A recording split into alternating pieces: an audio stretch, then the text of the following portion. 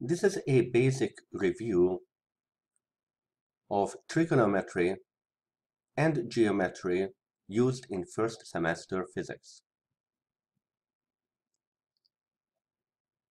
Trigonometry refers to measurement of triangles. In physics, the right triangle specifically is often used. This is a triangle where the largest angle is exactly 90 degrees.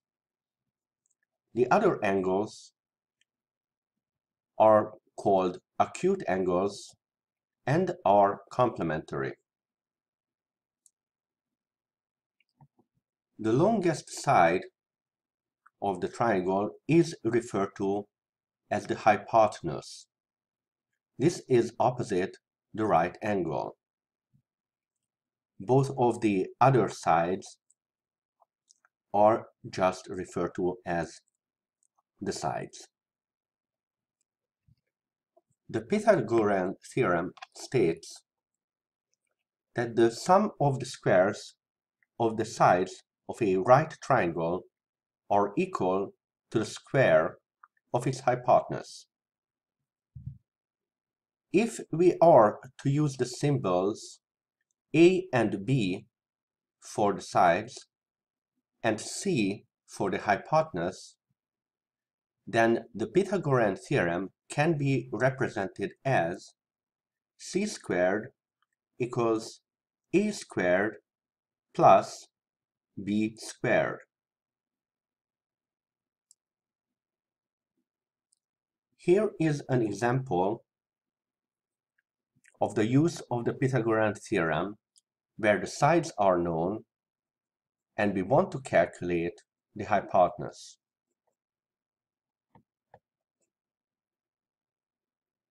We solve symbolically for the unknown first, plug in numbers with units, and then plug into our calculator. Do not forget to square the sides and do not forget to square root the result. Here is an example where the hypotenuse is known and it is one of the sides that is unknown. You solve symbolically first,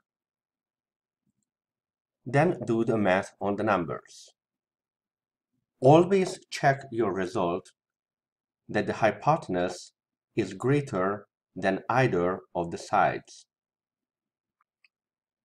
Next, we turn to the relationship between the angles and the sides. If we pick one of the acute angles, theta, then we can label the triangle with the hypotenuse as its longest side, an adjacent side nearest the angle and the opposite side farthest from that angle. The sine of that angle is then defined as the ratio of the opposite side divided by the hypotenuse. The cosine of that angle is defined as the adjacent side divided by the hypotenuse and the tangent of that angle is defined as the ratio of the opposite side divided by the adjacent side. S O H C A H T O A SOH CAH TOA Here is an example. Suppose we want to find out one of the acute angles for a 3, 4, 5 triangle. In this case, the angle is the one closest to the adjacent side of length 4 meters. The cosine of the angle is adjacent over hypotenuse, which is 4 meters divided by 5 meters, which gives us 0.8. To get the angle, we take the inverse function of cosine on that ratio and get 36.9 degrees.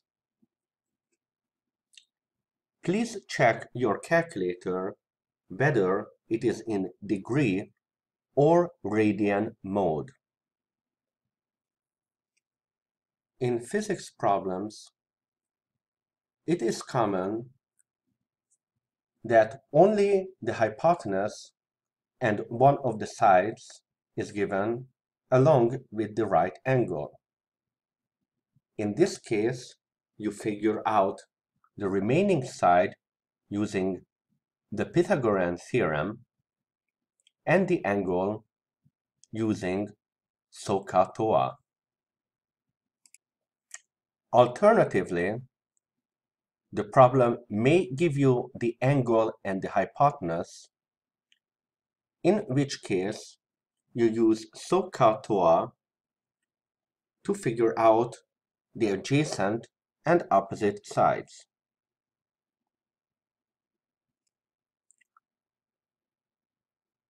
Geometry in physics is not limited to right triangles, so you will still need to keep in mind what you learned in geometry about congruent angles, which is defined as angles that are the same, complementary angles, which are defined as angles that add up to 90 degrees, and supplementary angles, angles that are defined as adding up to 180 degrees. You will need to learn to use the combination of these angles to figure out larger obtuse angles.